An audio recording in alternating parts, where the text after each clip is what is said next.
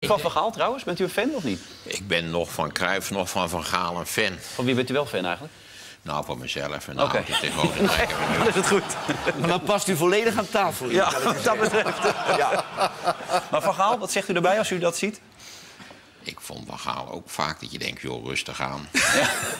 Ja. Dat kan helemaal geen kwaad. Maar wat ik raar vind in dit verhaal is dat jullie er dus in geslaagd zijn... om vier commissarissen te benoemen die dus allemaal alle vier niet deugen. Hoe heb je dat voor elkaar gekregen? Dat is wel knap, ja. Ik heb net Ken al je? gezegd, ja, Vind ik wel knap. Ja, ja. ik wist dat deze zou komen. Ik neem een volledige verantwoordelijkheid, Maarten.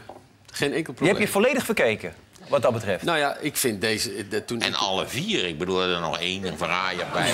Alleen, alleen, maar, maar dat je er vier verraaiers weet te selecteren.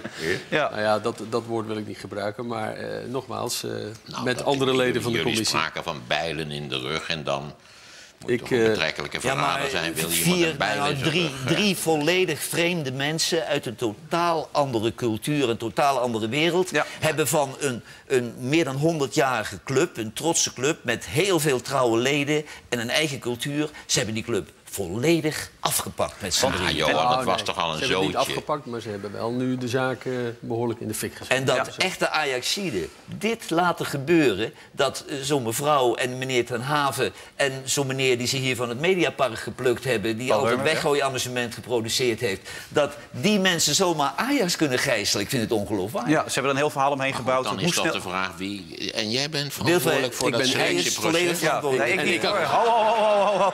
Hier heb ik niks mee te maken. We zijn het Ik vaak niet eens, maar... Ik aanvaard die verantwoordelijkheid. Ja. Je, je had toen last van verstandsverbijstering of Nou, zo, nee, nee, nee, nee, want het is, een, een, het is geen eenvoudig proces geweest. Wij hadden toen... eh, Je had beter mij kunnen vragen. Eh, ik weet er niks van, dus ik had me er ook niet tegenaan de volgende bemoeid. keer, Maarten, misschien, Ja? wie weet, wie weet. Ja, nee, bij deze ben ik Ja, graag ja. bereid om... eh, Maar wat...